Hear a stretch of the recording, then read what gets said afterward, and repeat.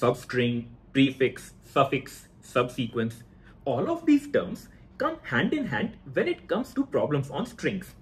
One such problem is available on LeetCode where you are given two strings and you have to determine if one of the string is a subsequence of the other one. In this problem statement, the term subsequence is very important. You have to understand what does it actually mean and then proceed with the solution. So let's see what we can do about it. Hello friends, welcome back to my channel.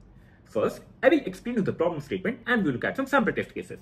Going forward, we will start with a brute force approach and understand what does a subsequence actually mean. Going forward, we will use a two-pointer approach to come up with an efficient solution and after that, we will also do a dry run of the code so that you can visualize how all of this is actually working in action. Without further ado, let's get started. First of all, let's try to make sure that we are understanding the problem statement correctly. In this problem, you are given two strings str1 and str2 and you have to return a true if str1 is a subsequence of str2. So let us try to look at some of the test cases and then understand it better. So looking at a first sample test case, my first string is CDE and the second string is ABCDE. I have to check if this string 1 is a subsequence of string 2. That means, can you find the string 1 in your string 2? You can say that, yes, you are able to find the string CDE in over here, right? So for your first test case, you need to return true as your answer. Similarly, let us look at our second test case. In our second test case, my first string is AXC and the second string is AHBGDC. You can see that you cannot find X anywhere in the second string, right? So naturally, you won't be able to find the string 1 in your string 2, correct? So for your second test case, you need to return false as your answer.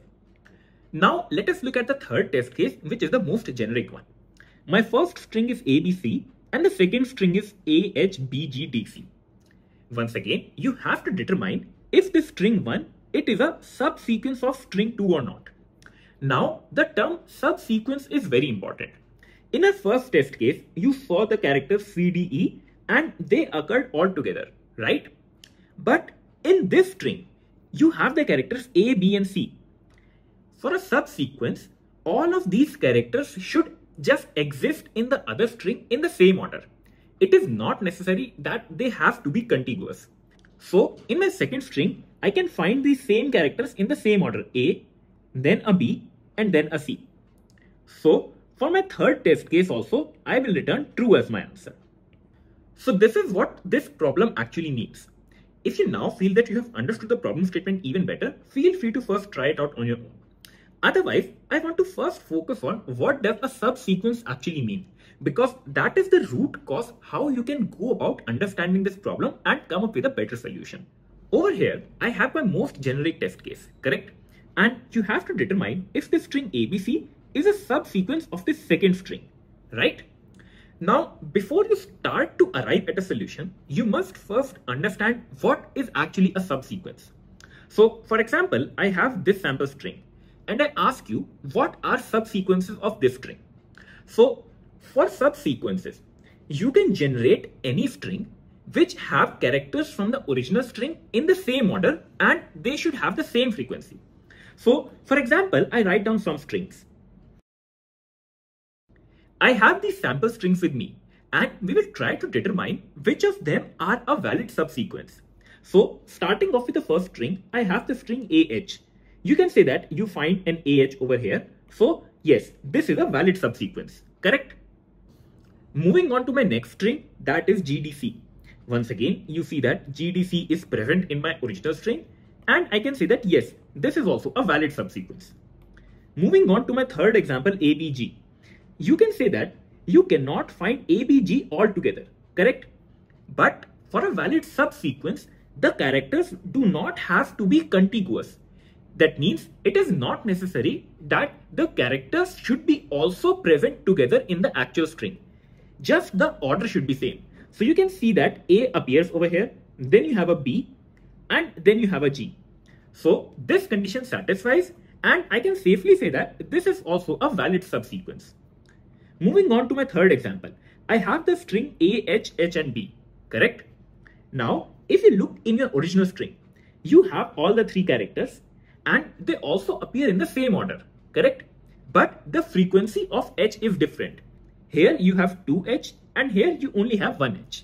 So this will not be a valid subsequence. Moving on to my third example, that is ABC. Once again, if you check your string, you can find a A, then a B, and then a C. They are in the same order, right? A, B, C. So I can say that, yes, this is once again a valid subsequence. Moving ahead with my third example, I have a string BAC. So you can see that, yes, B, A, and C, they are present, but the order is different. You have B first, and in the original string, you have A first, correct? So this will not be a valid subsequence. And similarly, looking at our last example, I have the string a, x and h. You can see that you cannot find x anywhere in your original string. So once again, I can safely say that this is not a valid subsequence. So by now, you must have understood what does a subsequence actually mean. It is not necessary that the characters should be contiguous in the original string, but they should appear in the same order. That is only the prime condition that you have to remember. Now, based upon this idea, you can easily come up with a brute force solution. A brute force solution would mean that you'd come up with all the different subsequence possible with the second string and then check, hey, is this equal to string 1? Is this equal to string 1? Is this equal to string 1? And then eventually you will arrive at a subsequence that is equaling to the original string, string 1, right? And once you find it, you can say that yes, this condition should return a true because string 1 is a valid subsequence of string 2.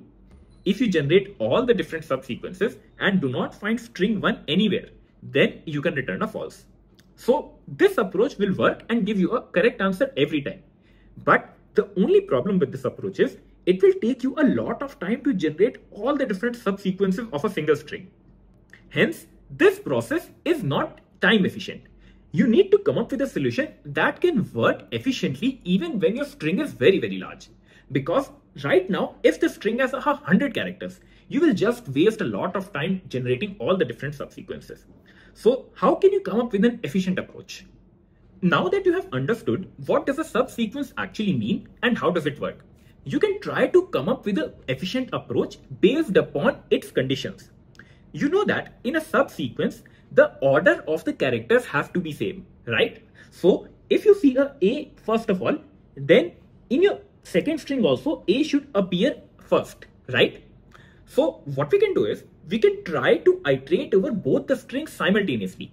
That means we will use two pointers, correct? So I initialize two pointers and right now they are pointing at the first character of both the strings, correct? Now think about it. If both these characters are same, that means, yes, this is in the direction of that maybe this is a valid subsequence.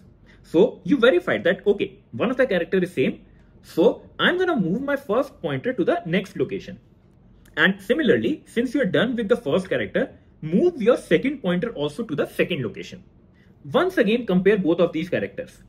You see that they are not the same. But it is okay. You still have a lot more characters to consider. So what I'm just going to do is I will take my pointer and move it to the next location.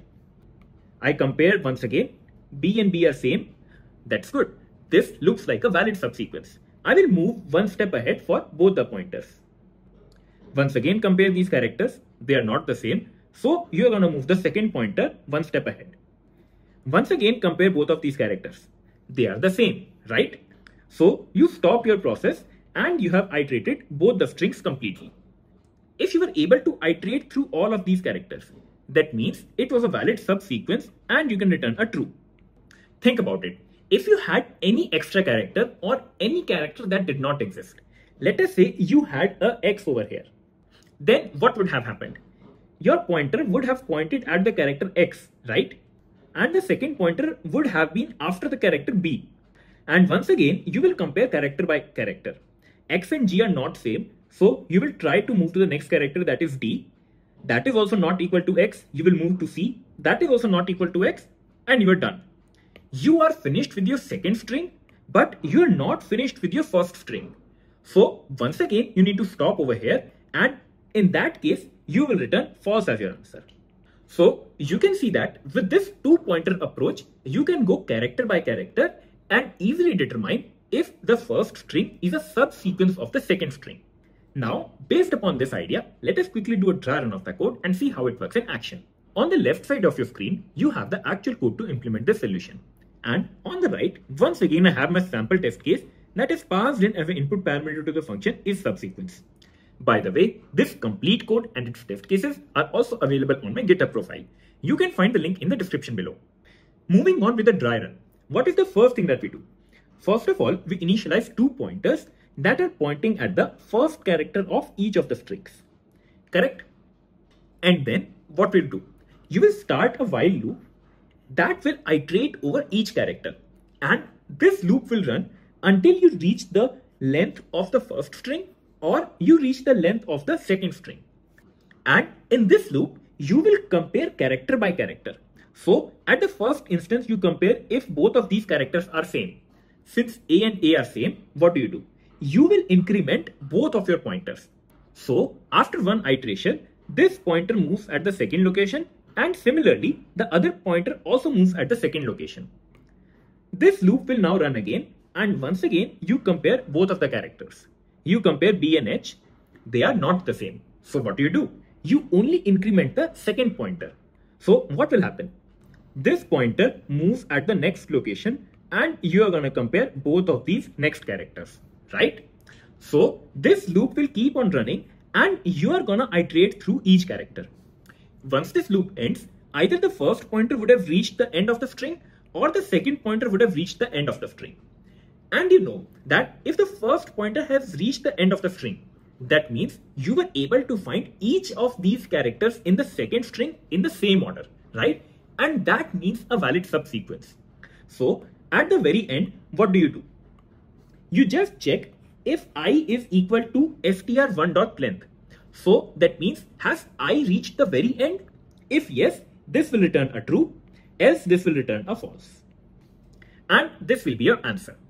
The time complexity of this solution is order of n, where n is the length of the longer string because you will have to iterate the second string at least once, correct?